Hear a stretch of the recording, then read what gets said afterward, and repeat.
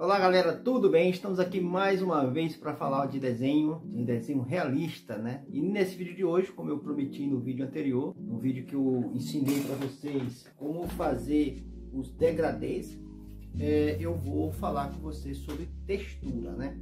Vou demonstrar. E para exemplificar, eu vou mostrar como foi feita a textura dessa, dessa torneira, né? Essa torneira aqui de metal, como é que foi feito para ficar esse brilho e esses contrastes aqui, para dar esse efeito de metal. E vou utilizar também uma parte desse desenho que eu fiz, né? Meu filho Lorenzo, aonde eu fiz a gola da camisa, né? Vou escolher aqui essa parte aqui e eu vou demonstrar para vocês. Eu já fiz o rascunho aqui, tanto da, da torneira quanto da gola e vou convidar vocês para me acompanhar aqui na minha mesa aonde eu vou agora começar a mostrar passo a passo como é que você faz as texturas tanto a de tecido quanto a textura de metal. Valeu? Então vem aqui acompanhar comigo. Aqui começando com o desenho da torneira para a gente ver o efeito de metal a gente pode começar vendo que há um contrastes muito grandes entre algumas partes, né, bem branco e outras partes bem negras. Então aqui começando com o lápis 6B, eu vou fazer alguns pontos mais escuros a princípio. Vou começar por essa, essa área aqui, fazendo esse contorno aqui, como se eu estivesse escrevendo mesmo aqui, ó. Note que são linhas e tracinhos pequenos aqui, ó, vou fazer.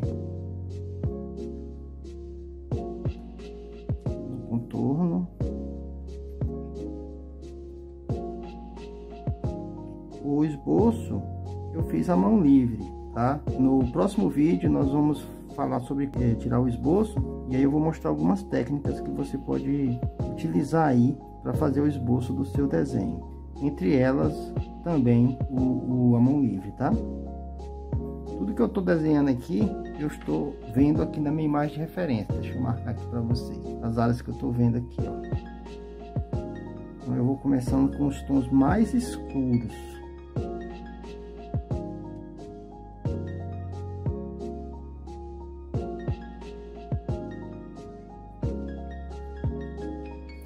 Essas partes mais cinzas, nós vamos pegar aqui um lápis, o lápis 2B.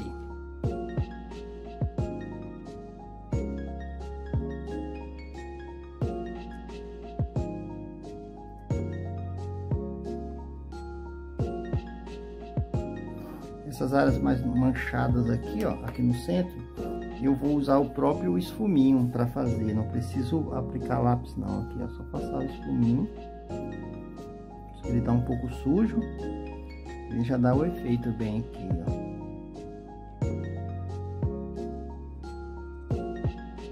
Voltando aqui com o lápis 6B,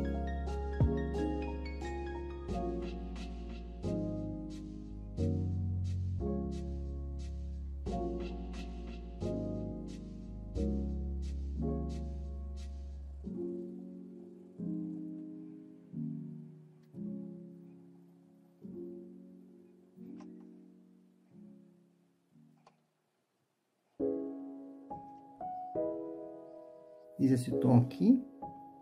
Agora note que dentro desse tom tem um mais escuro ainda, certo? Mas antes de eu passar para ele, eu vou pegar aqui o pincel para espalhar mais esse grafite, deixar mais uniforme.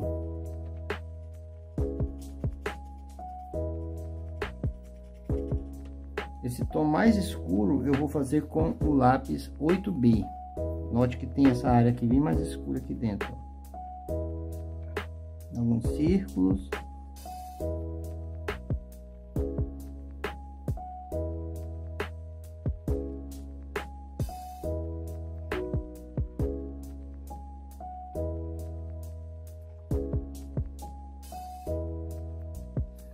Parte de baixo aqui também é bem mais escuro.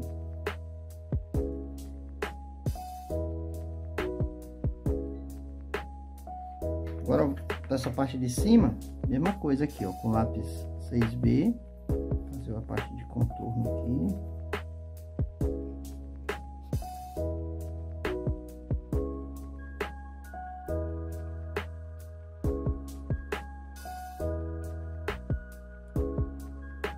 aí venho com o lápis é, 2B para fazer esse tom de cinza aqui.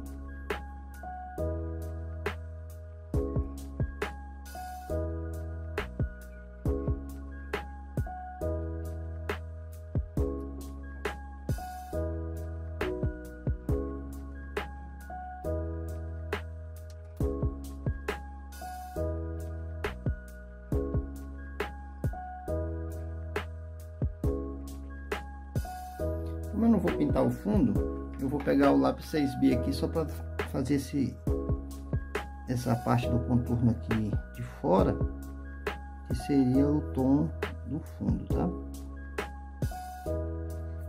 E aí nós já temos praticamente feito a parte de cima da, da torneira, tá? Aí vem com o lápis HB aqui, voltando aqui para a parte de baixo, escurecer um pouquinho essa área, escurecer um pouquinho mais essa área de cima aqui. Agora fazendo aqueles degradê que a gente aprendeu no vídeo anterior. Se você não assistiu o vídeo, eu vou colocar aqui o link para ele na descrição do vídeo e também no final vou deixar para você poder assistir, tá? Mais escuro. Voltando agora com 6B, dando continuidade à parte de baixo.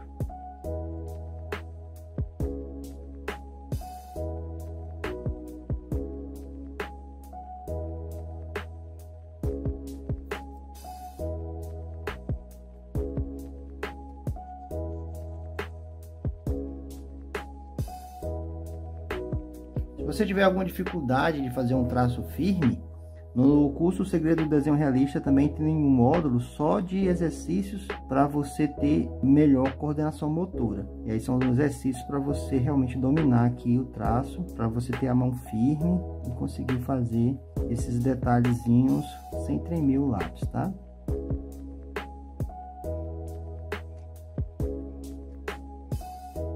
Aqui mesmo tem um pequeno degradê. vou fazer o fundo primeiro e depois eu faço o degradê por cima. Por enquanto estou colocando só os tons mais negros com 6B. Note como é fácil de fazer, é só observar. E se você vê um traço, faça o traço, você vê um círculo, faça o círculo. Não tente inventar nada não, faça exatamente o que você está vendo aqui. Se é só um tracinho, faça o tracinho. Se é uma mancha redonda, faça uma mancha redonda. E no final tudo fica certo.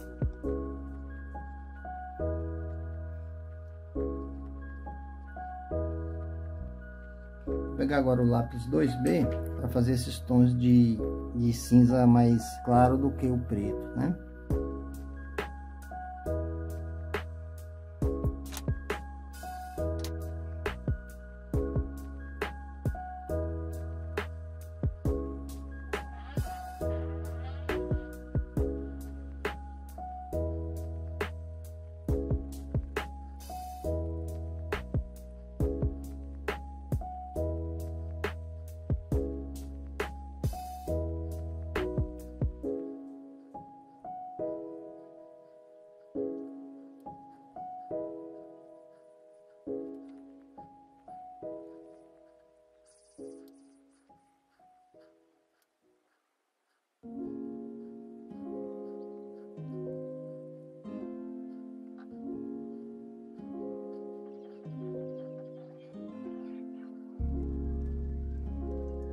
Agora que eu terminei com o 2B, eu vou pegar o lápis 6B para fazer esses degradês aqui, ó.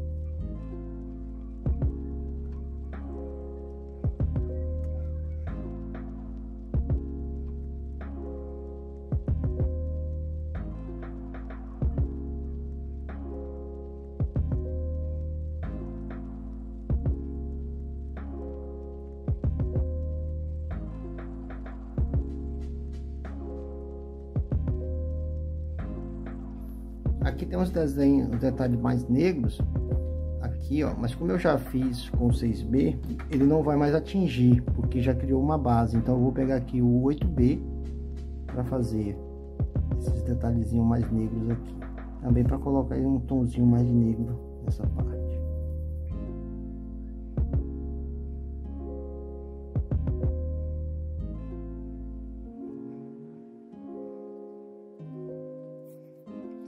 Não vou fazer o fundo, então posso considerar que é basicamente isso aí. Isso é o nosso tom de metal, né? Neste note que quase não se usou esfumado, né? Foi mais porque tem uns contrastes muito grandes, embora poderia ser aplicado, nesses, especialmente nesses degradês aqui, ó. A gente pode passar o esfuminho nessa área aqui, mas se eu não tivesse passado também tinha ficado bom igual.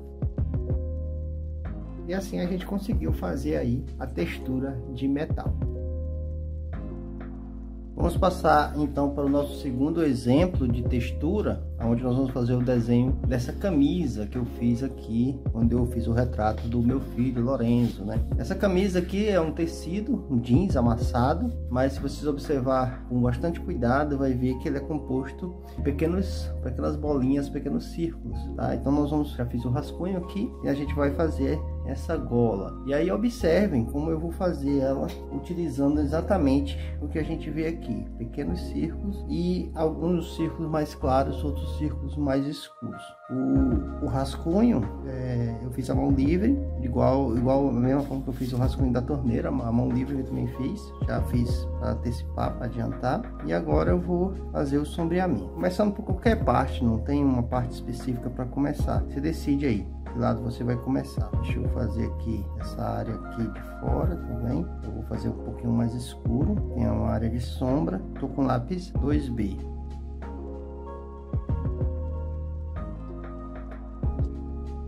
Aí você vai observando que tem uma linha que cruza aqui. Depois eu vou encher essa linha de pequenas bolinhas, que é como eu enxergo o desenho.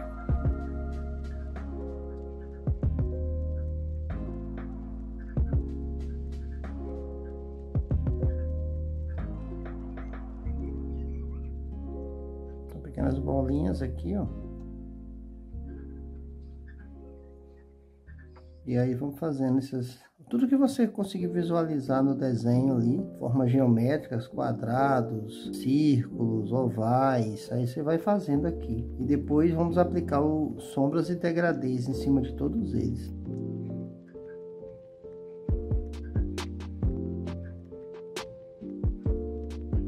Como a construção de um muro. Você vê aquele muro bonito, né? Mas se você observar tijolo por tijolo, você vai ver que ele é bem simples, né? O tijolo em si é bem simples. Quando eles se juntam, é que forma aquele lindo muro. É como também uma floresta, né? Você olhar, a floresta é composta de várias árvores. Aí você pode desenhar árvore por árvore e no final você vê a floresta. Da mesma forma aqui, ó, você vai olhando pedacinho por pedacinho, observando como é composto, tentando ver que forma geométrica cada detalhe se parece vai simplesmente fazendo certo? Da mesma forma aqui para dentro. Esse desenho aqui é basicamente composto de pequenos círculos. Aí são círculos cinzas, círculos cinza mais claro, cinza mais escuro, branco, mas sempre círculos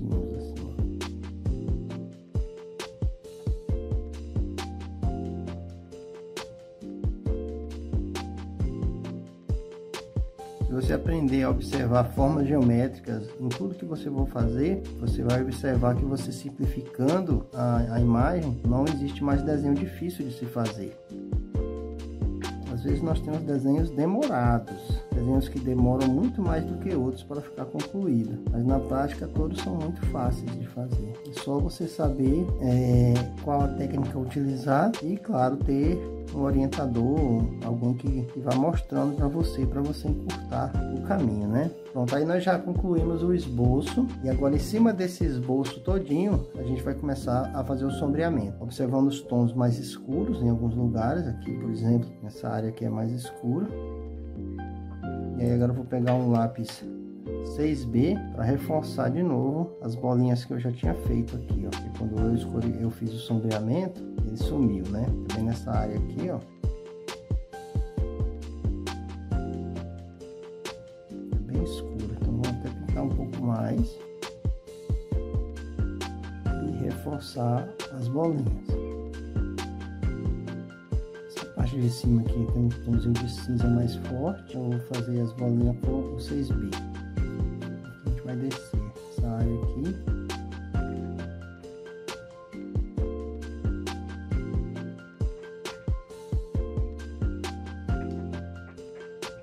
Note que até mesmo essa área aqui dentro, ó, ela é toda composta de, uma, de pequenas bolinhas bem, bem escuras, dá pra ver?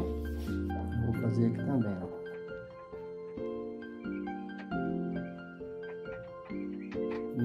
Vamos deixá-las bem negras aqui, ó.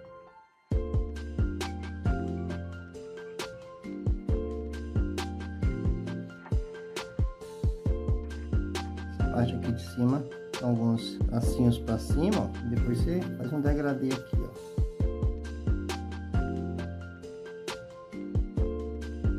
De novo, volta aos círculos, círculos, pequenos círculos aqui. Ainda vou esfumar e aí vai dar mais é, realismo esses contrastes aqui.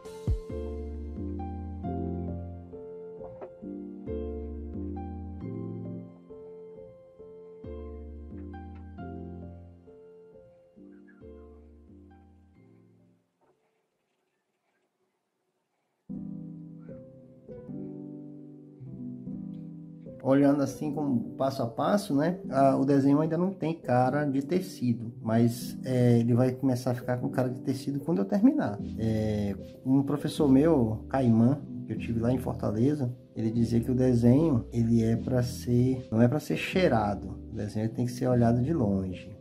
Então, quando a gente está fazendo o desenho, a gente tem que lembrar que ele vai ser visto no conjunto, na obra completa. Você olhar só alguma partezinha, só um pequeno centímetro, você vai ver tudo que eu estou dizendo aqui: bolinhas, quadradinhos, ovais. Só que quando você olha tudo no conjunto distante, aí você vê o tecido. Fazendo com calma. O segredo aqui também é você passar o grafite leve para não quebrar a textura do papel, porque depois a gente vai esfumar e posteriormente a gente vai fazer algumas áreas de luz com uma borracha. Então não pode fazer pressão para não marcar o papel. Vou agora pegar o esfuminho para poder dar uma misturada aqui nesse grafite aqui, ó. Essa área aqui também.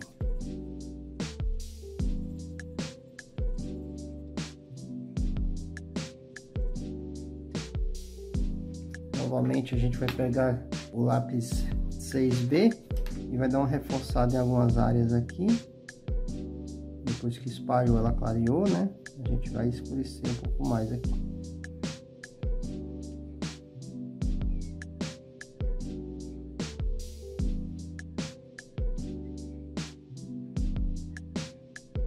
Com os fuminhos, vou espalhar de novo. Agora só em cima das áreas mais escuras que eu acabei de passar, né? Pegar aqui a minha borracha limpa tipos, vou fazer uma pontinha bem fininha aqui, ó, para abrir algumas luzes.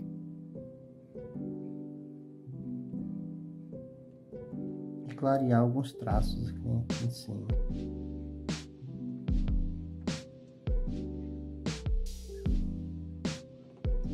Pegar o meu lápis, é, o 8B, só para dar uma escurecida nessa parte aqui de cima, para deixar mais na cara de, do desenho aqui, e assim você conseguir visualizar bem o contraste.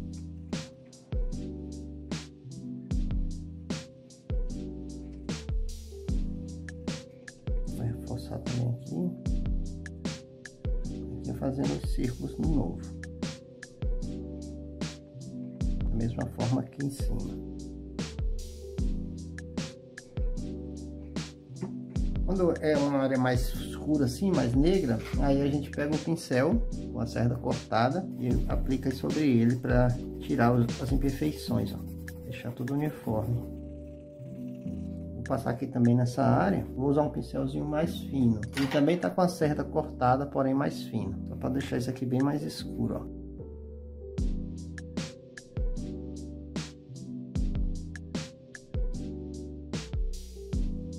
E é isso aí, gente. Presta atenção como ficou e compare com esse outro desenho que já está pronto. Deu para perceber? Não é tão difícil. É só você simplificar, estudar. Claro que aqui tem que ficar um pouco mais escuro, né? Para deixar bem mais real. Mas é só detalhes. Acho que no geral você entendeu aí o conceito do trabalho, né? E assim a gente finalizou, né? Mas essa aula de hoje, onde nós falamos sobre é, textura, né? Textura de metal e textura de tecido, né?